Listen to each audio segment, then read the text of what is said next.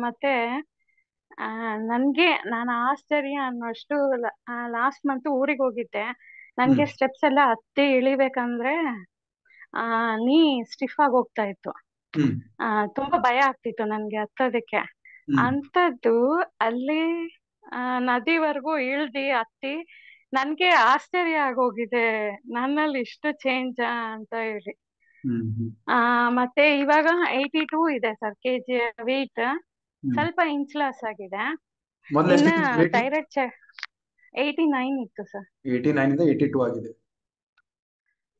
ಆ ಇನ್ನ thyroid test ಮಾಡಿಸ್ಬೇಕು. ನನ್ ಪ್ರಕಾರ ಮೇ ಬಿ ಕಂಟ್ರೋಲ್ ಆಗಿದೆ ಅನ್ನಿಸ್ತಾ ಇದೆ. ಈಗ ಫುಲ್ ಆಸಿಡಿಟಿ ಗ್ಯಾಸ್ಟ್ರಿಕ್ ಎಲ್ಲ ಕಮ್ಮಿ ಆಗಿದೆ ಸರ್. Thanks sir.